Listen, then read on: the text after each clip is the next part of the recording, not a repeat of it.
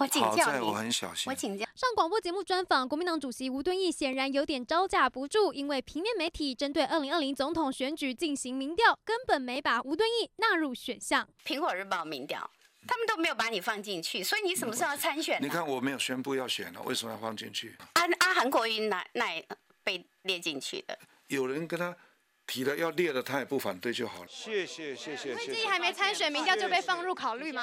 抱歉。镜头前不想多谈，声称自己也还没做出决定。不过民调显示，国民党内没有人赢得过韩国瑜。若以胜选为考量，国民党有没有可能回到二零一六年老路，最后一刻征召韩国瑜？你可不可以保证这一次不换候总统候选人？我拜托你，你对于你假设的，我不能随便回答，因为那种状况是极不可能发生的事。哦有可能从换柱变成换猪吗？吴敦义语带保留，但所谓的最强人选包括什么条件？比如说你的候选人是四健罪健康的情形一定要考虑嘛。啊？王金平有没有中风啊？那个朱立伦说，我我没有听说，我不知道。